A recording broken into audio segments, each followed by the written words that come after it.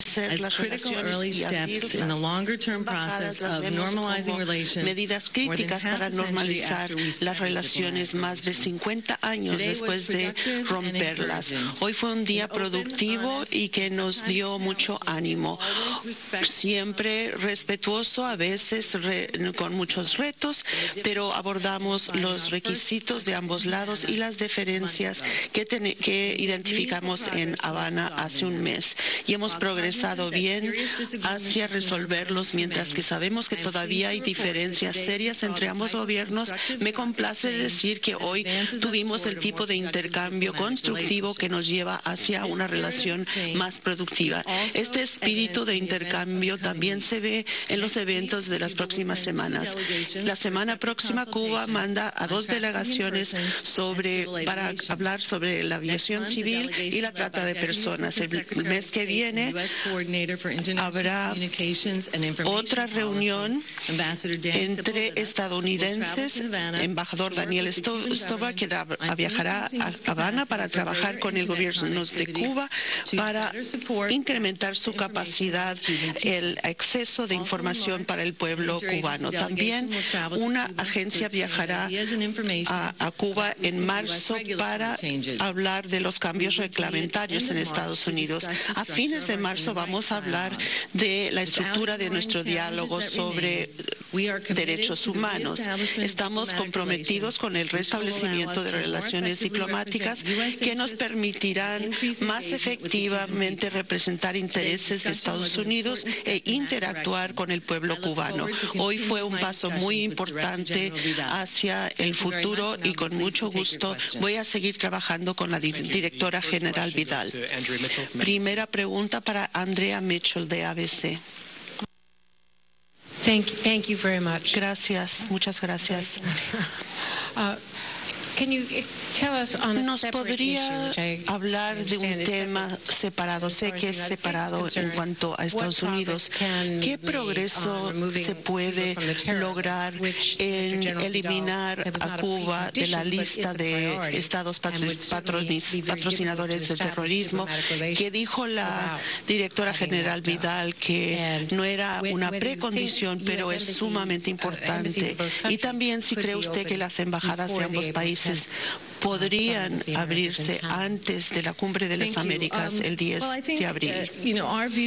Gracias. Creo que el punto de vista nuestro, y hemos sido claros, que los dos temas son Um, distintos y uh, separados. Entendemos el hecho de que la delegación cubana ve este hecho como prioridad. Para nosotros es importante terminar la revisión Um, que todavía está en curso y desde el principio hemos pensado que teníamos Um, que hacerlo tan secretary como fuera posible. El secretario hoy hizo algunos comentarios que después reiteró que lo vamos a terminar tan pronto como sea posible según la ley. Pero of eso y la- el establecimiento de relaciones diplomáticas son dos procesos Um, separados y es lo que quiero reiterar. En cuanto a la um, cronología, me parece que sí se puede lograr antes de la cumbre de las Américas.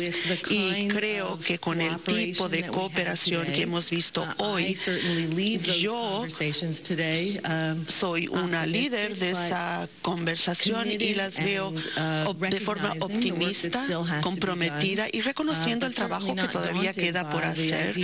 Pero there is a desire to move forward eh, me gusta la idea de que queremos abrir las embajadas antes y que es muy bueno que fuera antes de la cumbre.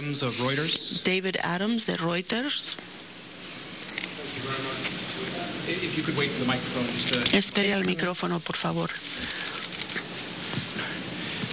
Thank you very much. Muchas gracias. How were you able to make progress Pudieron today on the progresar hoy en el tema uh, de the Vienna Convention on Diplomatic Relations, el convenio de Viena the sobre relaciones diplomáticas uh, y and la libertad uh, for de movimiento para los diplomáticos, porque yo sé que ustedes han hablando, han hablado mucho de la importancia que tiene eso para Estados Unidos para poder reunirse con disidentes políticos en Cuba. uh, Una de las cosas que yo dije entrando uh, a estas conversaciones era que que a lo mejor nos podrían decepcionar un poco porque no vamos a tener grandes titulares, pero sí hemos dicho que son temas de importancia y sí hablamos de ese tema y sí creo que hemos progresado. Hubo un espíritu muy cooperador.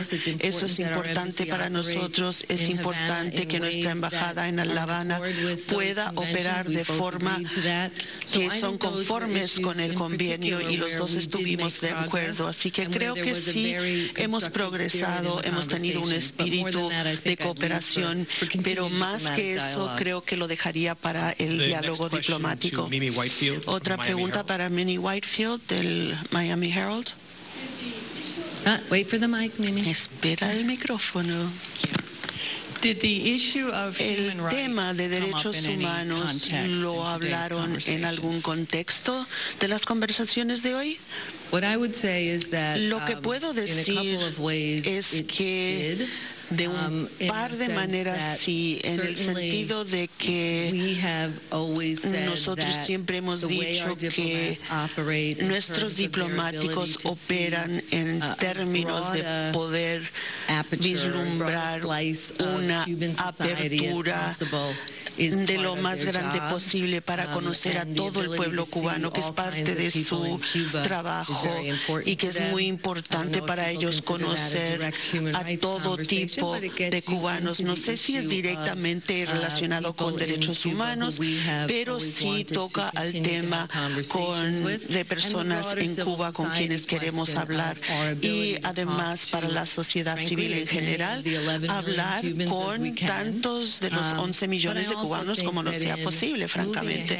Pero creo que al progresar, y es una de las cosas que más me ha uh, complacido para empezar a hablar de derechos eh, humanos.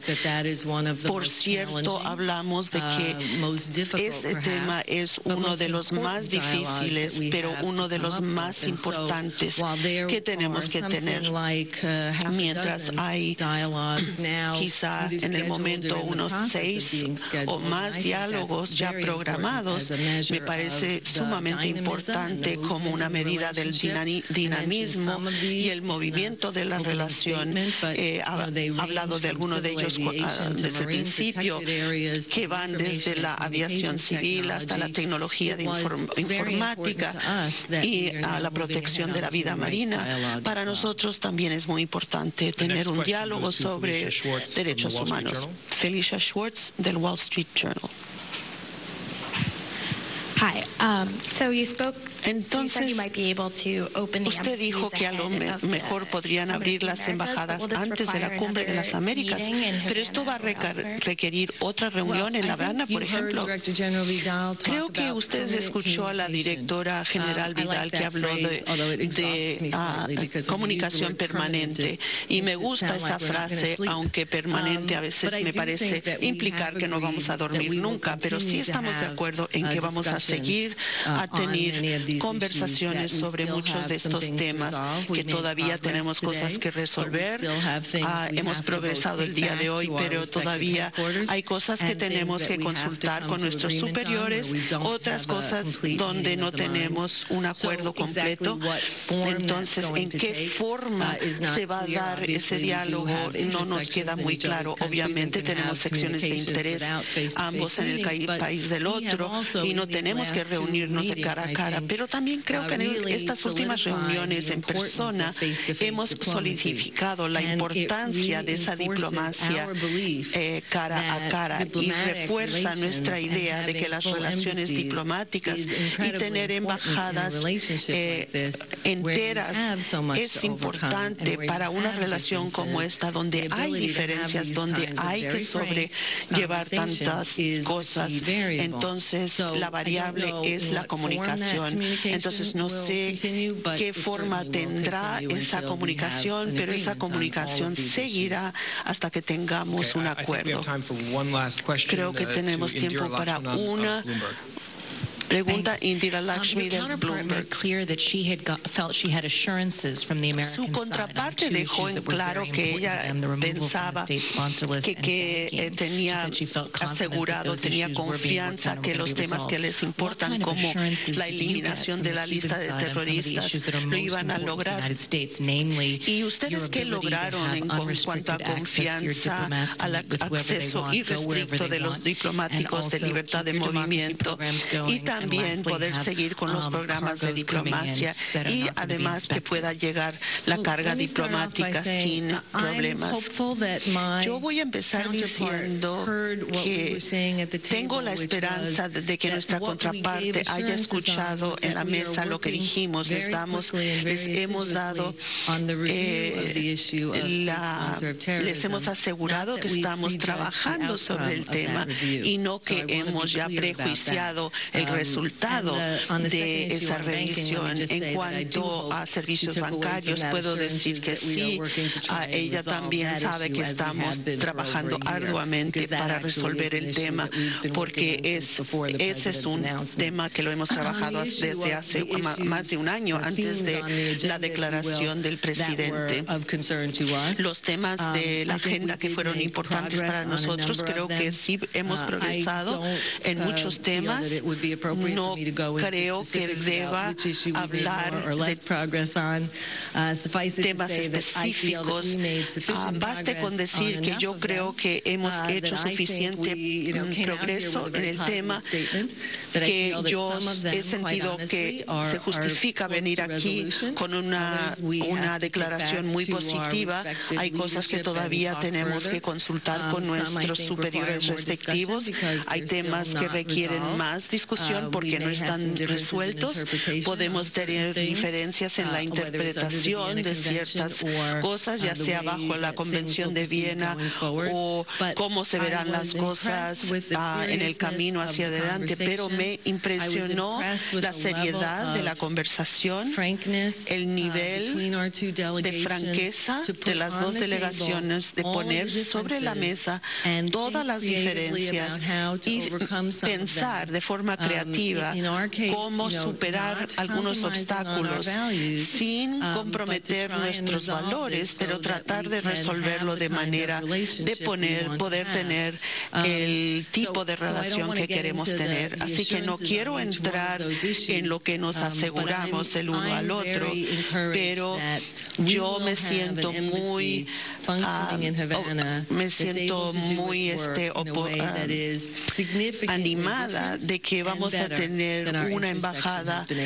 mucho mejor que la función de, la, de intereses de- de- que tenemos hasta ahora. Muchas gracias. Bueno, solamente Well, I subrayar just uh, wanted to underline that muy we had a very fruitful uh, eh, muy conversation. positiva en, el positive tono, eh, constructiva y, y hemos avanzado eh, en, en muchos temas eh, y, y vamos a continuar discutiendo los temas porque eh, creo que los dos partidos y especialmente por nuestro lado estamos comprometidos en llegar a- al fin de nuestro presidente que es restablecer las relaciones diplomáticas y abrir embajadas. Muchas gracias.